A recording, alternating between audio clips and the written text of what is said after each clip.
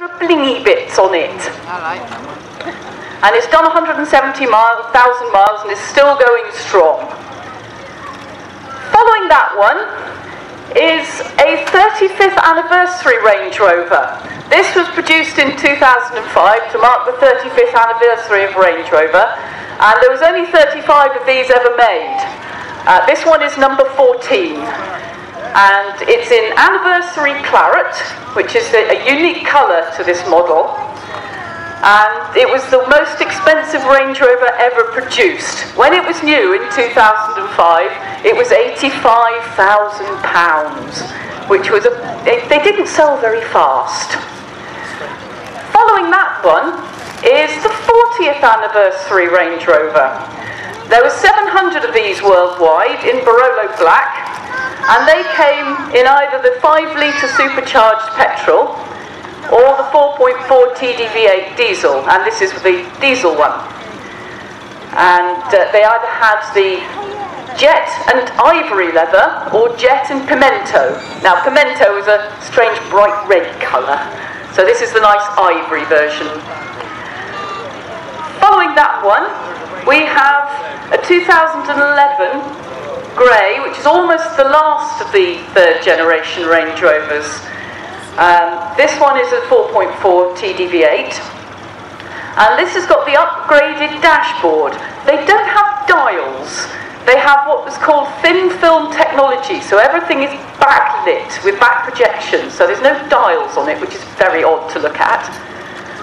And the very clever telescreen in the front, where the passenger can see the telly or the DVD, and the driver can only see the sat nav.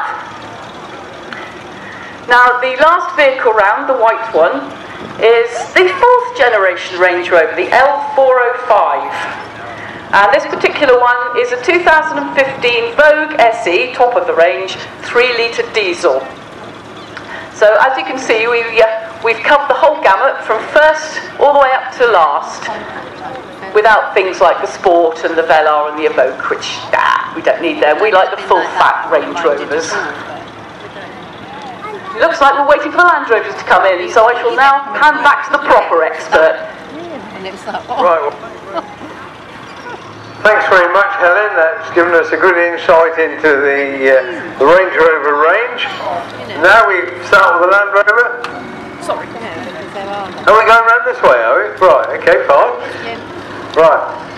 Land Rover is the first one is a hard top, and this is the Oh, Series 3. And behind there we've got a Series 1, now this back to the original thing. And this is what they originally built for as farmers' cars.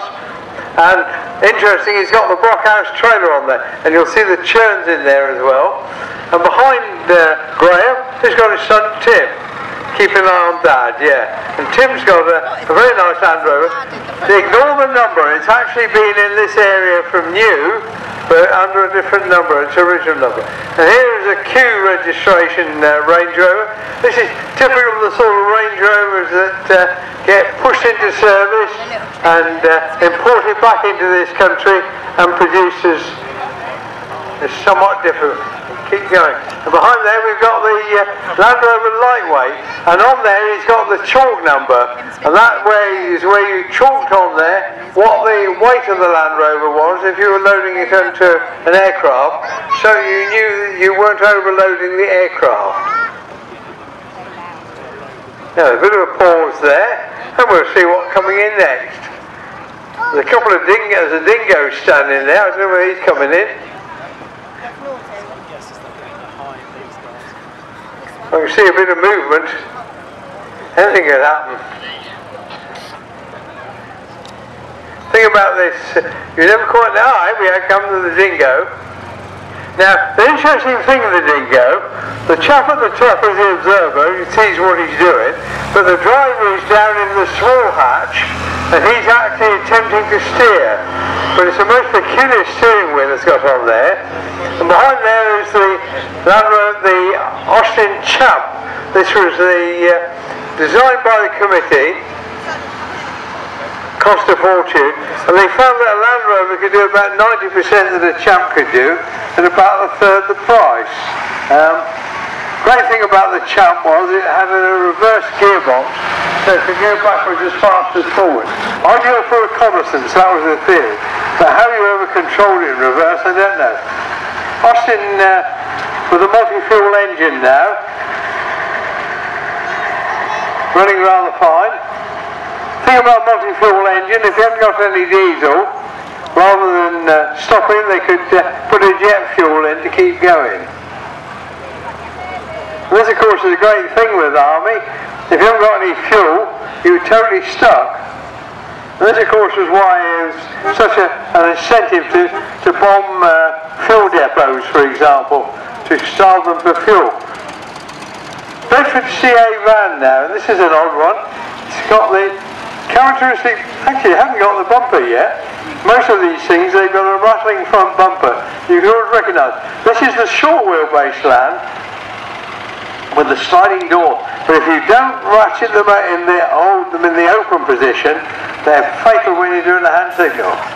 Another of David Aylward's restorations, this is the Bedford, but with the diesel engine and uh, travelling in stuff. And again, he would have got that door in the open position. That's interesting, you get two short wheelbase Land Rovers, short wheelbase uh, Bedfords. Now this is an interesting thing, the Ford pickup truck and uh, this is interesting. Where is it? South Africa was it originally? New Zealand. Oh right, yeah. Rather a proper youth then. So it's, it's been working hard. Coming in now, we got the uh, Scammell. This is a six-wheeled machine.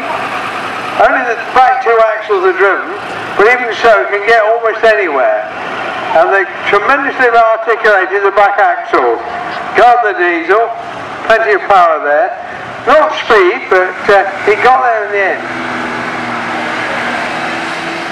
I'd love to see one of those things actually up on a block because you can drive over a, a foot or more block and it's still got both traction to both wheels. And of course you can also put tracks on there as well for extra grip. 30 hundredweight Morris now. This was a, a light, uh, light Morris lorry. In fact, they were a ton, I think, in the army. They always, they always rate them low. This, of course, is the International. Remember I mentioned earlier on the International Tractor Factory produced lorries as well. This is actually rather fine, and the hitch on the back is uh, is put a British hitch on there to give it more weight. Fire engine now, this is the uh, Shrewsbury one, and they've got some of the uh, rather interesting crew at the back as part of it. Coming in here is the uh, Tower Hill Transport. This is the AEC Mammoth Major. For many years, these were the, the heavy lorries on the road. Built by AEC. They weren't fast, but they got there. Associated Equipment Company, of course, they were basically bus builders, but they built lorries as well. And very good lorries they were too.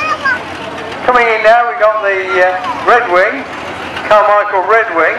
This is actually a normal control Land Rover and they've converted it by uh, Carmichael to forward control. And uh, interesting Coventry Climax pump on the back. That, a lot of those were used during the war originally. Now here's the carrier, an unusual make for a fire engine, based at Wallingford Fire Station. Of course, small small fire station, so they put a small appliance in there. Nonetheless, she did well for many years with the Berkshire Fire Brigade. Warminster Combined Division, they built both uh, ladies and gentlemen, and uh, they've got a full complement there.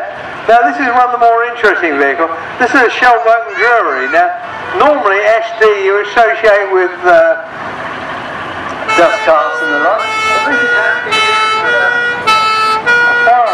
so you can see the massive hitch on the back, the uh, legs that held it steady. There was a turntable escape on there originally. Coming in now, Amy Louise, this is uh, February's, uh, they were a tipper for many years, this particular thing, and then they converted it to a breakdown, and uh, And then another owner converted it to a platform vehicle for usefulness.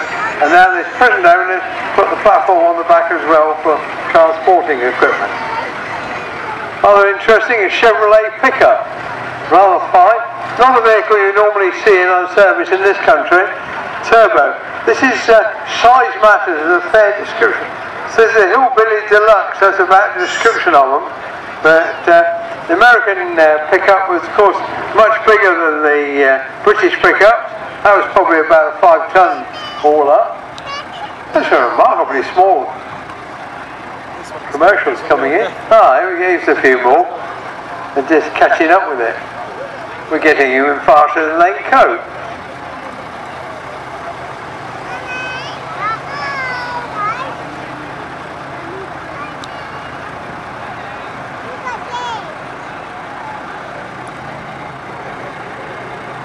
This is the Atkinson coming in.